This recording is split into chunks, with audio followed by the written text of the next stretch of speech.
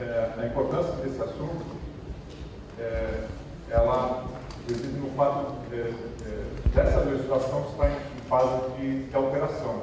Então, existe o Código hoje um substitutivo na Câmara, que ele vai ser avaliado né, e provavelmente o Código Florestal vai sofrer alterações é, com, essa, com, essa, é, com esse substitutivo, né, E a importância do Código Florestal, ele está ele, ele tá no fato dele é, é, intermediar a, a, a, relação entre os dois maiores usos da terra que a gente tem no Brasil em termos de área, de área, que é, são as áreas que ainda estão ocupadas por vegetação nativa e é, o uso agropecuário das terras, que são os dois grandes usos da terra.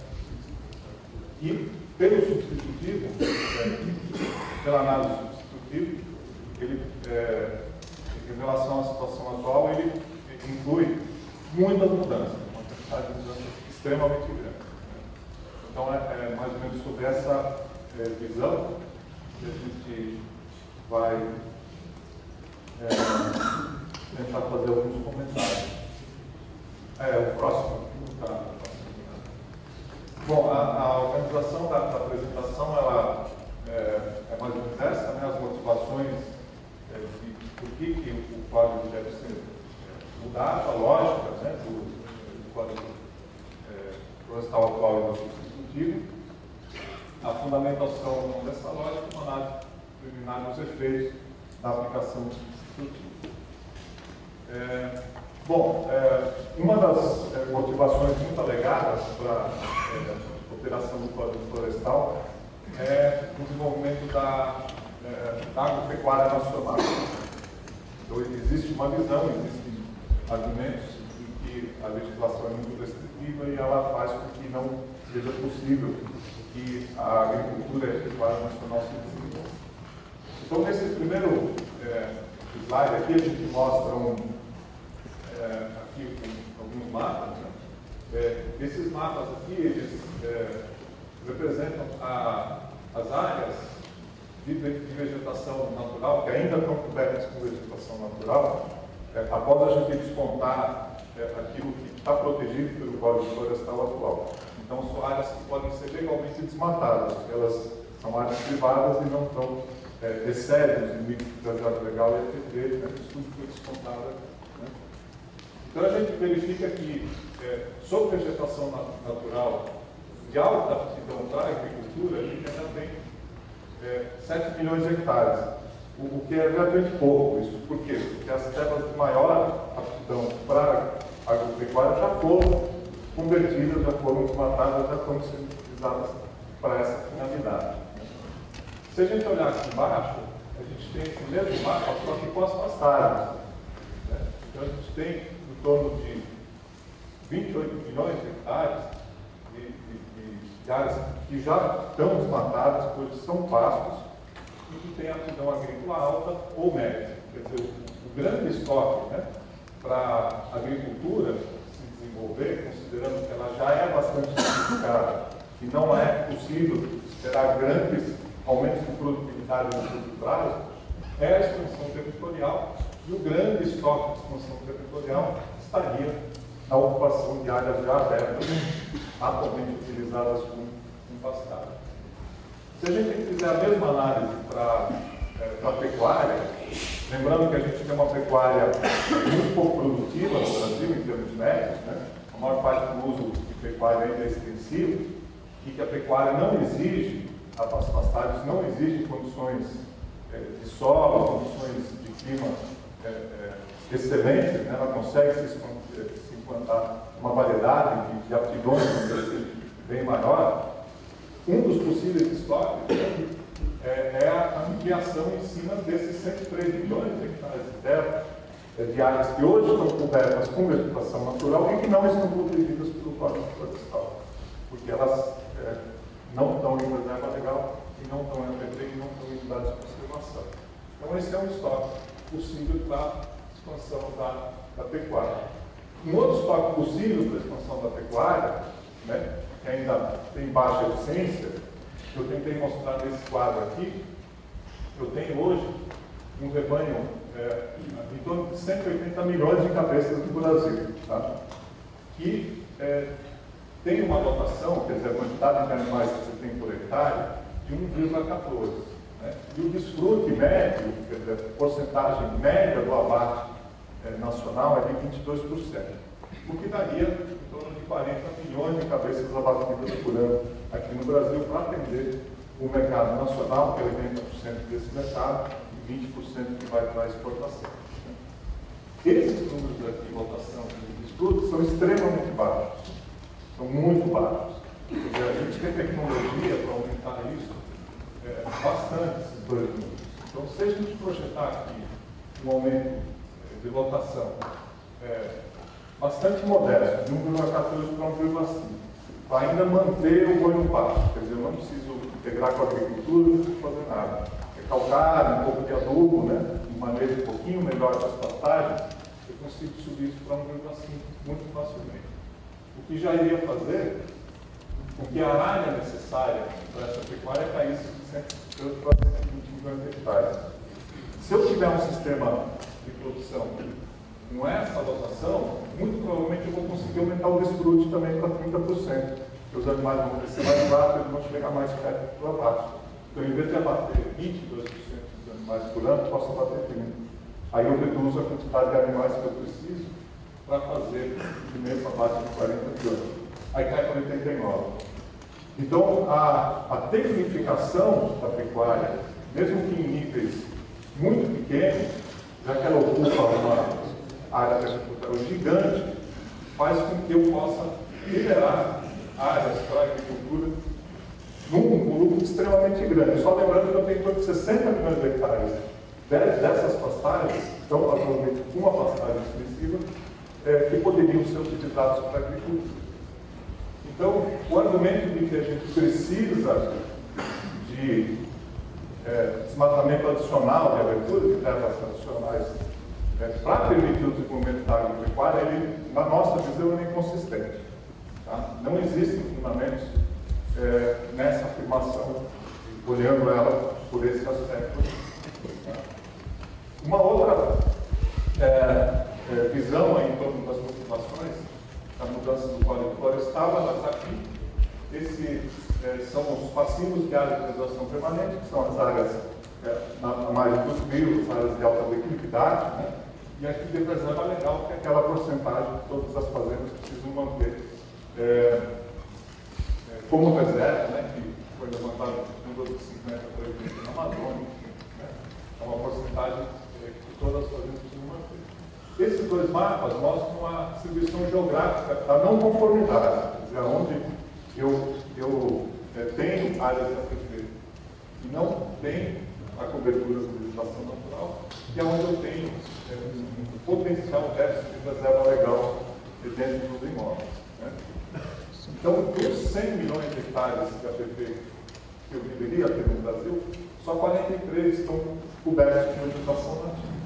De uma necessidade de 230 milhões de hectares de reserva legal, faltam, no mínimo, 42 milhões de hectares de vegetação nativa para cumprir isso aí. Então, o Código Florestal, ele, apesar de ser uma legislação antiga, em todas as regiões, desde as regiões antigas de agricultura até as regiões novas, em qualquer região em que a agricultura se implantou de uma forma mais intensiva, ela fez isso à custa de não cumprir o Código Florestal. Então, é, se eu tiver que restaurar, dizer, converter essas áreas é, que atualmente estão em produção, algum tipo de produção agrícola ou pecuária, de volta para a sua vegetação nativa, isso aqui é uma conta é, muito simples que a gente fez só com o custo de restauração. Né? Isso equivale a dois anos, no mínimo, do PIB do agronegócio brasileiro. Quer dizer, é uma dívida é, que ela não é resgatável mais atualmente. Então não existe a possibilidade de resgate sem entrar em nenhuma discussão do que E ao mesmo tempo que ele tem os passivos do Código Florestal atual, ele não protege outros 103 milhões de hectares de vegetação que estão fora da, da, da proteção do Código Florestal, mesmo que ele fosse cumprido integralmente. Uma região importante desse déficit é essa região do Maputo aqui, né? Onde está acontecendo a grande expansão, a última fronteira de expansão é, agrícola nacional, né? a região do Cerrado aí, do Maranhão, Piauí, Tocantins e Bahia. Né? Bom, o que a gente fez? É, isso aqui não é para ler, evidentemente. A gente pegou o código florestal antigo e o novo, e item por item a gente fez a comparação do que mudou entre um e outro. Fizemos uma lista gigante, quais são as diferenças do código atual e do substitutivo. E a gente ressaltou algumas né, é, que influenciam mais, três ou quatro dessas mudanças, por muitas pontos de vista, e que afetam muito esse estoque de vegetação natural e é, é, a nossa agropecuária são três dessas mudanças que ele ressaltou e já fez uma modelagem em cima dela. E organizando isso dentro de uma lógica. Então essa aqui é a lógica do código florestal atual. Né? O está em branco aqui vai uma lógica nova que vai aparecer no substituto. Né? É, então o código florestal atual ele vai principalmente da lógica da restauração. Então você tem a área de preservação permanente, que são as áreas primárias ou construídas, áreas de alta produtividade, que deve ser mantida é, com vegetação nativa. Se ela não estiver nesse estado, ela tem que ser restaurada. A mesma coisa para a reserva legal. Tá? Então esse é o principal mecanismo do Código de E existe também uma possibilidade, no caso, de ter um passivo de gerar conformidade. Então, ah, se não tem, então existem mecanismos que facilitam a geração de conformidade. Um deles é a diminuição de exigência, que no caso se aplica à reserva legal é, nas florestas dentro da Amazônia é legal, que pode ser reduzida para 50%. Né? Então você faz um zoneamento, e aí você prova que está consolidado, enfim, você pode reduzir isso para 50%. E você pode ter a compensação da tua reserva legal dentro da mesma microbacia. Então, se na tua propriedade você não tem a porcentagem de reserva legal, dentro da mesma microbacia, você pode compensar numa outra propriedade. Tá? Isso existe atualmente no código. O grande problema desse mecanismo de compensação aqui é que você está com uma região de ocupação agrícola, dentro da mesma microbacia, se falta para um, falta para todo mundo. Então ele é enorme o mecanismo do ponto de vista de gerar compensação. Porque a área geográfica que é permitido são é, áreas em que faltou nenhum, não vai ter vizinho também, ou é muito pouco que vai ter as propriedades vizinhas, porque a, a lógica da ocupação agrícola ela, é, acaba fazendo com que a deficiência seja é, democraticamente distribuída para todo mundo. E esse é o código novo, a lógica do, do substitutivo. Quer dizer, a restauração praticamente sumiu, né? ela não é mais considerada como mecanismo prioritário. O tamanho das fontes aqui é mais ou menos a, a nossa interpretação da importância. Né? A geração de conformidade ela foi muito é, ampliada dentro do código, né? Através de uma diminuição de exigência, né? quer dizer, você gera conformidade ou diminuindo a exigência ou compensando. Né?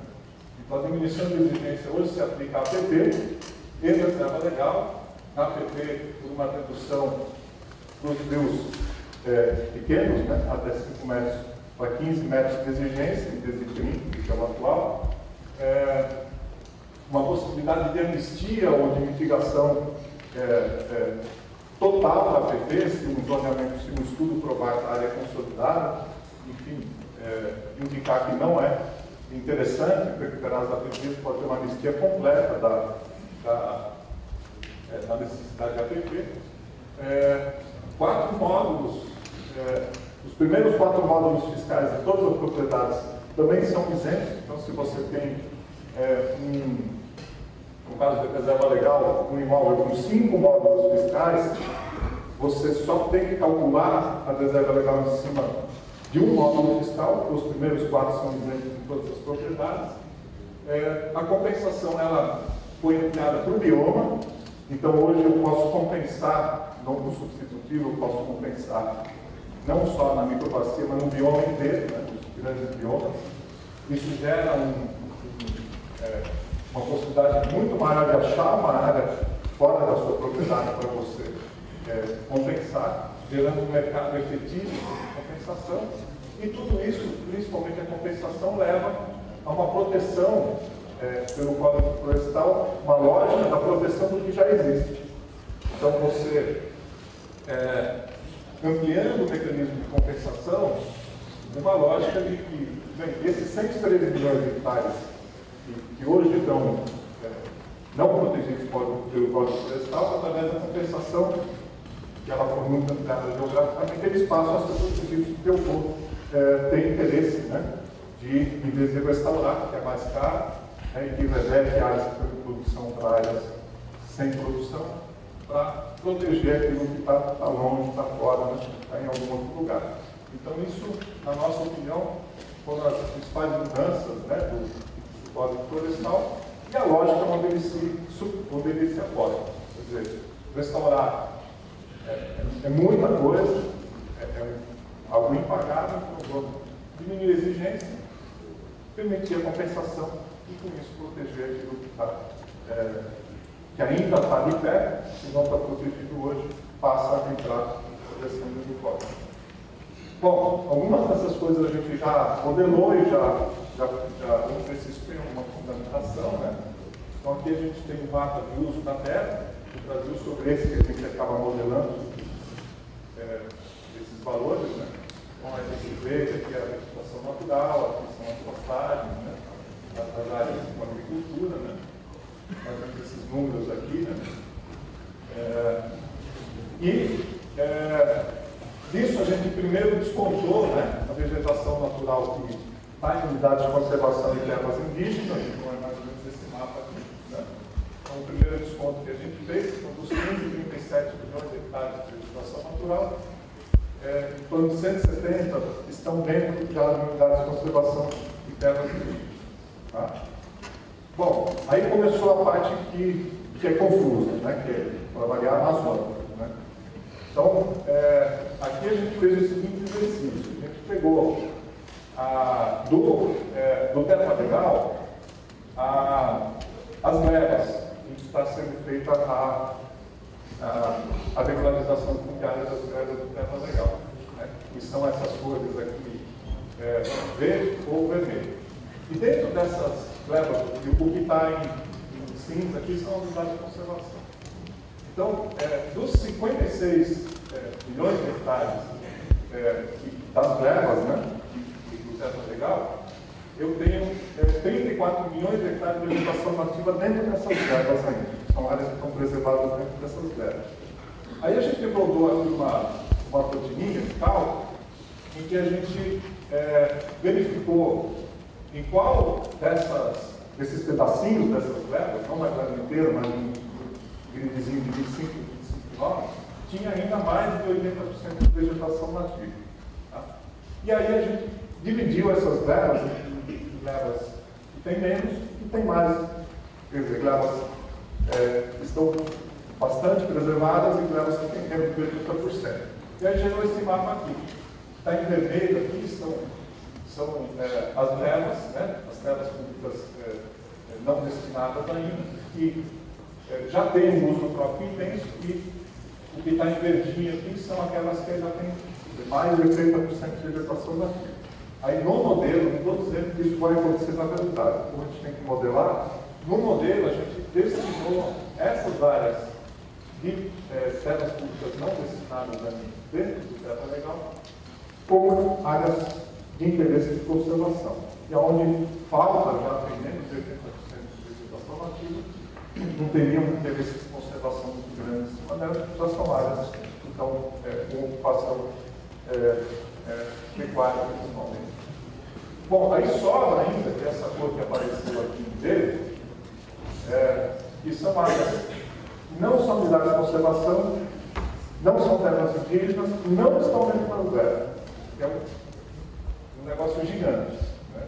Eu não conheço isso aí, a minha esperança é explicar o que é tudo esse verde aqui, né? É, mas é, acho que um lugar bom para eu aprender isso é aqui. Né? É, mas o que, que a gente fez dentro do modelo? A gente é, também colocou uma rotina aqui é, para tentar descobrir aonde tem mais de 95% de vegetação nativa dentro dessas terras. Né? E achamos uma grande quantidade de áreas. 103 milhões de hectares que tem estão muito bem conservados. Como não é unidade de conservação, como não é terra indígena, como não está dentro das brevas do terra legal, no modelo a gente considerou como áreas privadas. Que se aplica o código florestal. Né? Essa foi a lógica. Pode estar errada, mas essa lógica que a gente usou. Tá, já está acabando. Bom, fazendo a conta aqui, né, é, então dos 537 milhões de é, hectares que ainda tem vegetação nativa, eu desconto 170 que está em unidade de conservação. 16, que é o, o milhões de hectares, que é o que está dentro das brevas do teto legal, que tem potencial para conservação. Sobram 351 milhões de hectares de vegetação nativa para o domínio privado. Desses, 57 estão em APP, tá? em áreas de preservação permanente. Então, descontando esses 57 das áreas que estão em áreas de preservação permanente, sobra um estoque de 294 milhões de hectares. Tá? Esse estoque é um estoque que, dependendo da legislação, principalmente do Código Florestal, pode seguir três caminhos. Ou ele pode ser usado como reserva legal, através da compensação, ele pode virar uma, uma unidade de conservação alternativa mais para frente, ou pode ser desmatado. Quer dizer, o Código Florestal, todas essas áreas dentro do nosso governo são privadas. Né? Então, o Código Florestal é o principal mecanismo de controle sobre essas áreas, que dá 55% da vegetação natural no Brasil. Então, o cara é para lá importante né? nessa intermediação dessa. Então, o que acontecer na mudança disso para isso, influencia esse estoque de uma forma bastante importante. Né? Então, a gente fez uma modelagem é, de alguns é, é, princípios né, que estão dentro do Código Florestal, já acabando dentro de em 5 minutos. É, só vou ressaltar alguns números aqui. Mecanismo de compensação. Ele foi muito ampliado, trabalhei bioma. Agora você acha a área para compensar dentro do bioma. Então, no, considerando apenas a compensação de reserva legal no bioma, eu tenho aqui um déficit de reserva legal no Código atual de 42 milhões, ele cai para 13. Tá? Porque eu consigo achar áreas suficientes, alguns biomas, como a Mata Atlântica, não acho. Mas Cerrado acha quase tudo, né? E outros biomas é, é, você acaba achando suficiente área fora né, das propriedades para compensar. Então ele abaixa muito esse déficit e com isso ele diminui o estoque de vegetação natural não protegida de 103 para 70. Se eu considero a compensação da reserva legal em bioma e APB, que é o que interessa, o código prevê essas duas possibilidades, eu consigo baixar esse déficit para zero. Então, o mecanismo de compensação isoladamente é um mecanismo muito eficaz de é, gerar a conformidade e, ao mesmo tempo, proteger, pelo menos parte da vegetação, isso está protegida. Tá? É, isso aqui é uma, é uma pegadinha que tem dentro do, do Código Florestal, essa é super perigosa. A isenção dos primeiros quatro módulos fiscais da aplicação do reserva legal. Então, aquele truque, se você tem um imóvel com cinco módulos fiscais, você calcula a reserva legal sobre um, um só, os primeiros quatro abaixo. Você tem menos de quatro, você tá, é, não precisa de reserva legal como um todo. Você tem mil módulos fiscais, você desconta os primeiros quatro também. Então, isso gera uma. Aqui a gente já considerou a distribuição fundiária no Brasil nesse slide. Isso gera uma diminuição da reserva legal é, nessas faixas de porcentagem. Então, aqui é, é um mapa do quadro florestal atual, da exigência de reserva legal, esse do meio aqui, né, a porcentagem. Isso aqui é com o mecanismo de tirando os quatro módulos. Como tem muita área pequena, muita fragmentação fundiária, você abate uma quantidade enorme da necessidade de reserva legal né, é, em regiões extensas, muito extensas do Brasil. Tá? É, agora, onde falta, é, onde tem a estrutura fundiária é, com grandes imóveis, você não abate nada, porque você só desconta 4 com um imóvel grande fica basicamente dentro do déficit. Então essa medida ela reduz muito, a, dá, muita isenção, mas tem pouco foco geográfico, que é onde está o problema continua tendo. E onde não tem problema, você libera muita área para desmatamento, que abateu a necessidade de reserva legal é mais área que pode ser legalmente desmatada. Isso amplia aqui de uma forma enorme, aonde já tem pressão, que é principalmente para jogo maduro. Então, a medida que não resolve e gera um outro problema. É, não resolve muito o problema do déficit e gera uma série de consequências. Negativas, principalmente, fazendo com que muitas áreas não fiquem protegidas. É, eu vou só mostrar lá que já é o último, né? Então aqui é o cenário 4, que é a isenção dos quatro modos fiscais, reserva legal. Né? A, o efeito disso do passivo não é muito grande, né? mas aumenta muito a vegetação natural não protegida, 103 para 191 milhões de hectares. E se eu aplico o código como um todo, substitutivo como um todo, compensação, concorrendo com, com isenção, etc., o quadro é esse. O zero, o zero, inclusive da PT, porque ela pode ser considerada que não precisa recuperar, mas eu aumento muito a área hoje não protegida de 103 para 108 milhões de hectares. Então, é, dentro da, da lógica do, do, do, do substitutivo, né, é, é, é uma lógica é, até nosso defensável como lógica, né, não é a única que existe, mas é uma lógica defensável, quer dizer, tem um monte de área que hoje não está protegida, vamos trazer isso para a proteção dentro do código. É, o código, o substitutivo, ele tem, é, e ele procura fazer isso, diminuindo a exigência é. e permitindo a compensação. Eu, eu, eu sugeriria que você deixasse à disposição de todos os dados que são Isso é a última frase. Não é? Não. Porque nós já passamos 5 minutos do seu tempo.